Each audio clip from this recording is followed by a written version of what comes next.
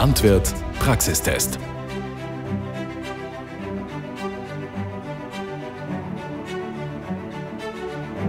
Die Gülleausbringung kommt immer mehr unter Druck. Ammoniakemissionen sorgen bei den Anrainern für Nasenrümpfen. Zudem gilt es, die EU-Richtlinie der nationalen Emissionshöchstmenge umzusetzen. Diese Richtlinie soll nicht als Schikane der Brüsseler Beamtenschaft gesehen, sondern als Chance erkannt werden. Durch Stickstoffemissionen gehen der österreichischen Landwirtschaft jedes Jahr rund 62 Millionen Euro an Düngerwert verloren. Darüber hinaus senken geringere Ammoniakemissionen in der Regel auch die Geruchsbelastung. Die Wahl der richtigen Ausbringtechnik spielt dabei eine entscheidende Rolle. Doch welcher Gülleverteiler ist der beste? Dieser Frage sind wir zusammen mit der Forschungsanstalt Raumberg-Gumpenstein in einem umfangreichen Praxistest auf den Grund gegangen. Sechs Verteilsysteme stellen sich dem Vergleich. Ein Prallkopfverteiler von Vakutec. Er verteilt die Gülle gleichmäßig auf eine Arbeitsbreite von 12 Metern. Diese Technik zeichnet sich durch geringe Investitions- und Betriebskosten, niedriges Gewicht, hohe Toleranz gegenüber Fremdkörpern sowie eine einfache Handhabung und Reinigung aus. Der Möscher Pendelverteiler. Diesen von der DLG anerkannten Verteiler gibt es als Einfach-, Zweifach- oder Dreifachverteiler mit Arbeitsbreiten bis 27 Metern. Er ist sehr leicht und einfach in der Handhabung. Die großtropfige Verteilung der Gülle schützt den Stickstoff vor Verdunstung, so die Argumentation des Herstellers. Ein Exot in unserem Vergleich war der Niederdruckverteiler von Bücheler und Schönenberger.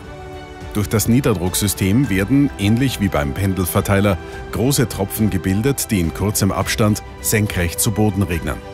Der geringe Luftkontakt soll Geruchs- und Ammoniakemissionen senken.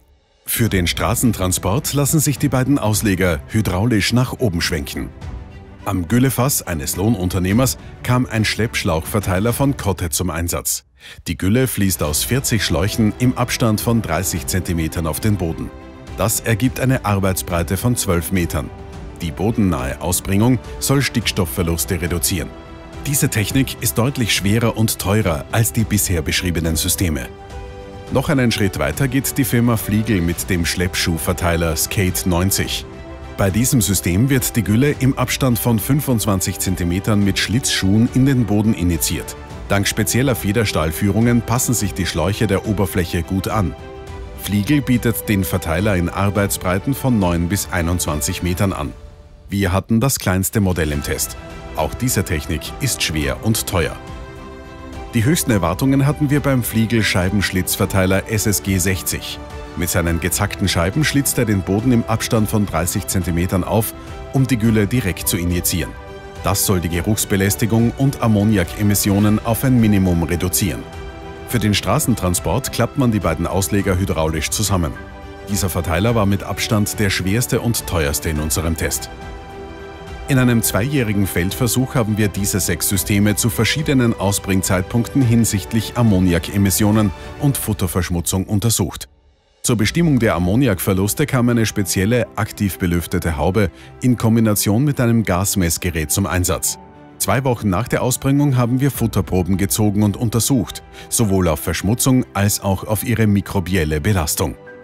Wie die einzelnen Gülleverteiler abgeschnitten haben, erfahrt ihr in der Landwirt-Ausgabe 1 2018. Dort findet ihr den vollständigen Vergleichstest mit allen technischen Details und Ergebnissen.